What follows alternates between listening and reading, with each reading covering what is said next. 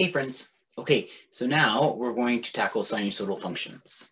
Um, now, in 30-2, here's what you need to know with sinusoidal functions.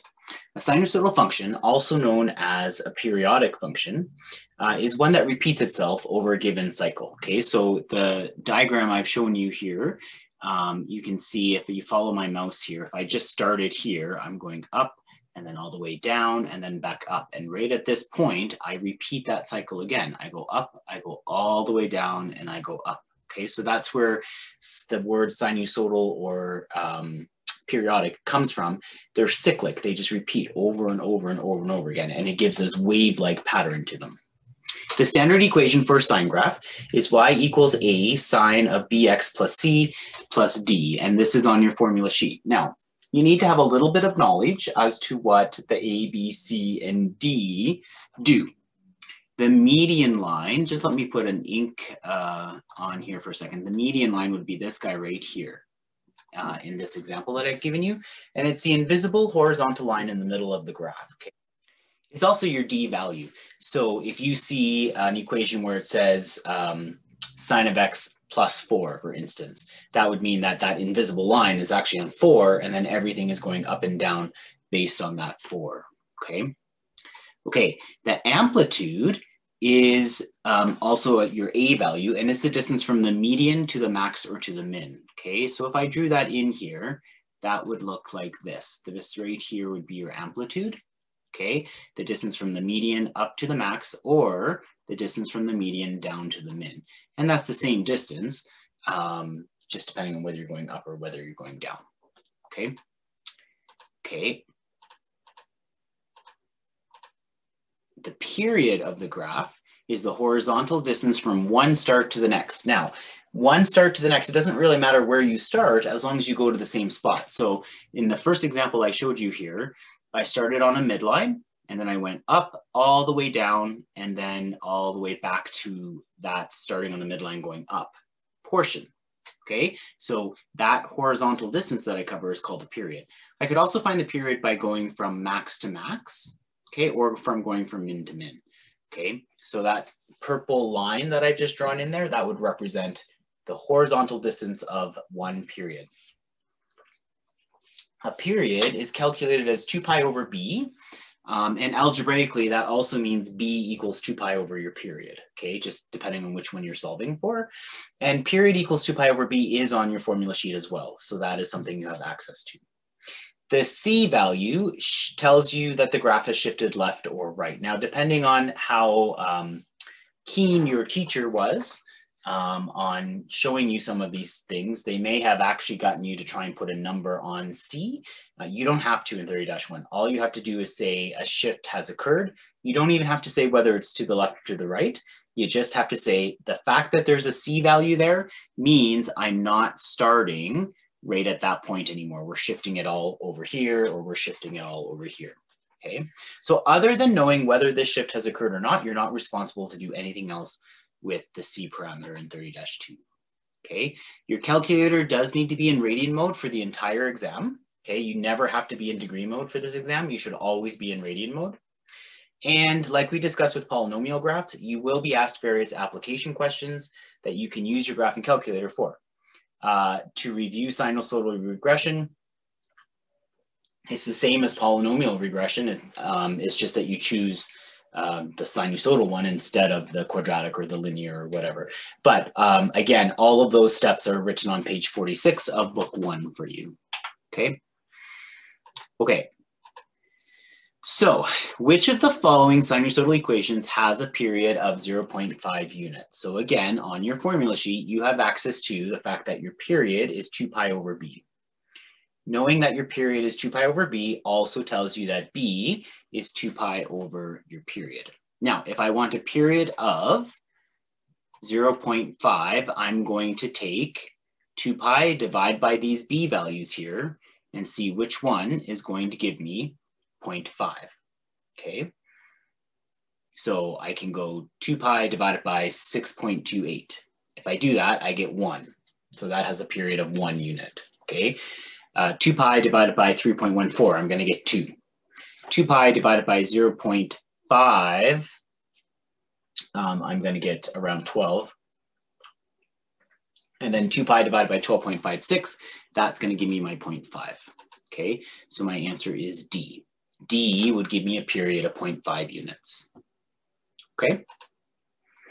All right, again, big, long question, lots of words. Uh, we want to just shut down as soon as we see a question like this. Um, I am putting this purposely to have this conversation. This was a released item. These are the sorts of things you get on a diploma. Don't let it scare you. It's actually not a really, really hard question once you figure out what they're actually asking you to do. So let's read through it together. The estimated maximum ultraviolet or UV index, Y1, for a northern Canadian location is this equation here. The estimated maximum UV index for southern Canadian location is this guy here, okay?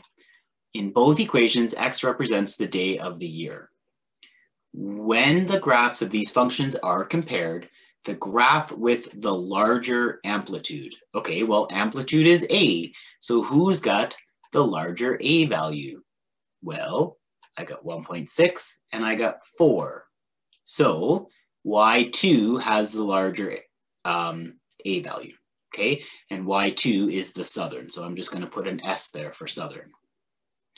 Uh, then the graph with the higher midline, the graph with the higher midline. Well, who's your midline? D is your midline. So I'm looking at 4 compared to 1.6. Well, that's the southern again. The southern has the higher midline. Okay, so it should be southern, southern, which means the answer is D.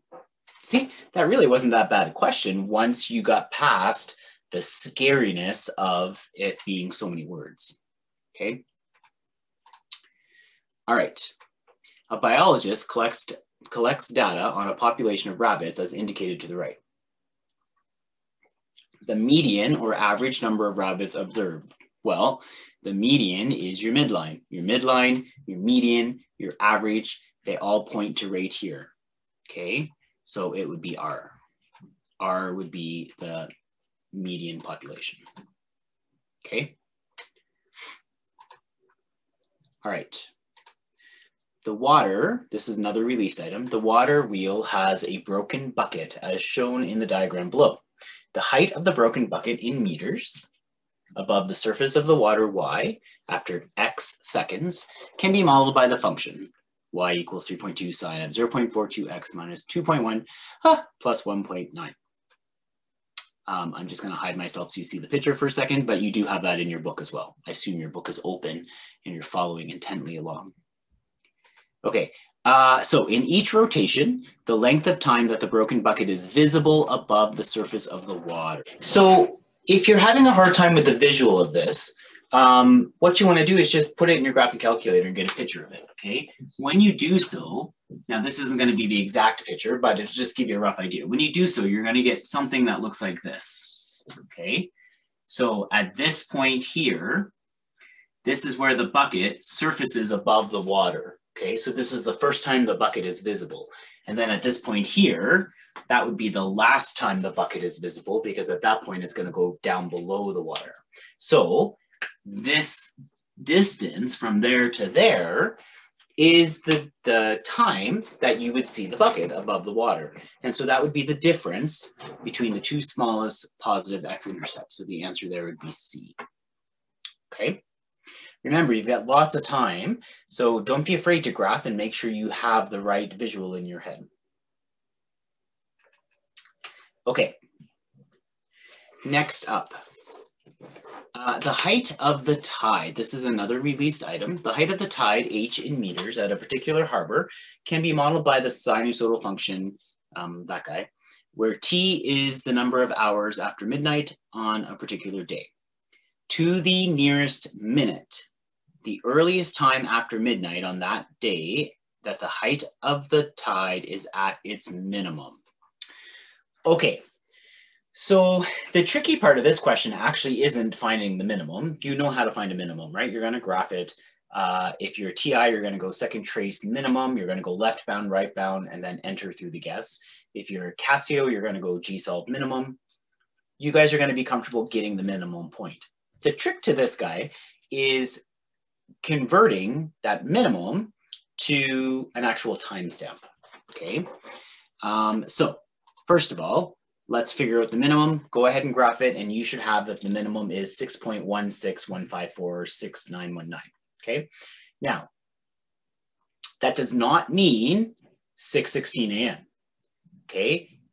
It does mean 6, but the 0.16 you would have to now interpret. That 0.16 means 0.16 of an hour. So to convert that to minutes, you would have to times it by 60 because there's 60 minutes in an hour. So when I take point that 0.16, that leftover piece of an hour, and I multiply it by 60 to convert it into minutes, I get 9.6 minutes. So it's six hours and 10 minutes after midnight or 610, okay? So that's where the 10 is coming from. Uh, it's just a conversion of the 0.16 into minutes. Okay, the radius of a child's bicycle wheel is approximately 20 centimeters. The child has, a, has placed a noisemaker on the spoke of the wheel 12 centimeters from the outside edge. As the wheel rotates, the height of the noisemaker above the ground follows a sinusoidal pattern as shown below. If the graph, if the ground level, sorry, is the reference point, what is the amplitude and median of the sinusoidal function? Okay, so I'm just gonna hide myself for a second so that we can look at this drawing together. And really this drawing spells things out for you, okay? The noisemaker itself, um, it says that it's 12 centimeters from the outside edge. Well, 12 centimeters from the outside edge means it's going to have an eight centimeter radius here, okay? Because the full thing was 20 centimeters the full radius of the tire was, I just want to make sure I'm clarifying that with you. The full radius of the tire was 20 centimeters. So if I'm 12 centimeters from the outside edge, um, the noisemaker itself has to be eight centimeters. Okay, so that's now going round and round and round like this. And what's happening is it's going up eight and then down eight and then down eight and then up eight. Okay, and so this guy here would be my median. Okay, and the median would be uh, 20. And then my amplitude is the radius of the noisemaker. So the noisemaker is 8 radius. So I'm just going to turn my ink off there and get my mouse going again there. So I have an amplitude of 8 and a median of 20. Okay, good. The sunrise for a particular Alberta city can be modeled by the sinusoidal regression function S equals all of that, uh, where S is the sunrise time in hours after midnight, and D is the number of days since the beginning of the year. So January 1st is one, January 2nd is two, February 1st would be 32 because there's 31 days in January and blah, blah, blah. Okay, now, before that scares you, um, this was a released item, but they usually tell you what day you're looking for. They don't make you figure it out. So you don't have to sit there with a calendar to figure out what day August 18th is or August 15th, I guess, in this one. Okay. According to the sinusoidal regression function, the sunrise time on August 15th Yay, they tell you it's days two to seven to the nearest hundredth of an hour is however many hours after midnight. So again, just like we did with polynomial applications, you're asking yourself, have I been given an X or have I been given a Y? so in this one, um, S is your Y and your D is your X value. So you actually have been given an X value, the day two to 227, okay? So you're just plugging 227 in for D. You need to make sure that your calculator is in radian mode. I know I said that, but I just want to clarify. I'll probably say it a couple times. Make sure your calculator's in radian mode. Um, you're going to plug 227 in for D and just type all that in your calculator. Okay, you should get 5.85 hours after midnight. 5.85. Okay, all right, given a sinusoidal equation in the form y equals a sine of bx plus c plus d, the maximum point. Okay, so here's what I want you to understand from a visual perspective. If I gave you a sinusoidal curve, okay, that maximum point right here, let me just switch colors now, you would have to take whatever the minimum value is, and you'd have to add the amplitude, right? So, uh, sorry, I said the minimum value. I didn't mean that. I wrote it in the right spot. Um, the median value. Okay, you would take the median value and you would add the amplitude.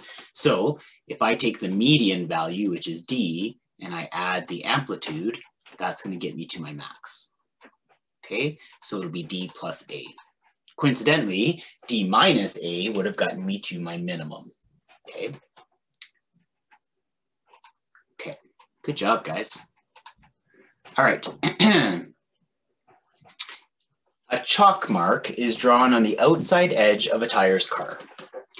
When the car rolls forward at a constant speed, the height of the chalk, chalk mark above the pavement over time follows a sinusoidal pattern, as shown on the graph at the right. The graph can be represented by the function h equals 20s times 0.5t minus 3 plus 20, where h is the height of the chalk mark above the pavement in inches and t is the time in seconds. Now, I'm going to ask you a series of questions with this scenario.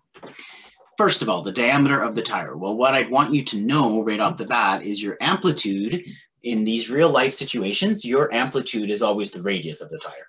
So if I know the radius of the tire is 20, the diameter of the tire has to be 40 because radius is half of your diameter. Okay. So we got 40 there. Okay, the time to the nearest tenth of a second needed for the tire to complete one full revolution. Well, one full revolution is your period. So to get your period, it's 2 pi divided by your b value. Your b value here is 0.5. So you're going to go 2 pi divided by 0.5, and that'll give you 12.6 seconds. Okay.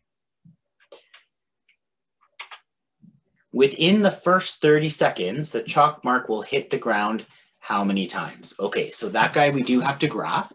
Um, so you're going to go into Y1. You're going to type this into Y1. It says within the first 30 seconds. So that's an X value. You want to set your X max to 30 and then just see how many times your graph hits the ground. Okay. So when you do that, you should get a picture that looks something like this. And I can see that it'll hit the ground three times. Okay. The height of the chalk mark on the tire to the nearest tenth of an inch at 100 seconds. Okay, so now 100 is still an X value, but you can't go trace 100 right now because you only go up to 30. So you're gonna have to go into your window settings and you're gonna have to change your X max to be like 105. You just wanna make sure you just slightly overshoot 100. Then you can just go trace 100 and you'll get 22.5 okay?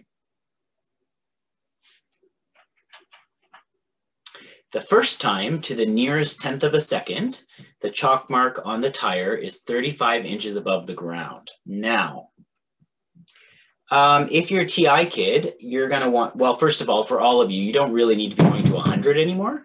Um, so what you could do is you could maybe bring your X max down to 15 or 20, okay? Um, then what you want to do for if you're a Casio kid, you can go GSolve XCalc.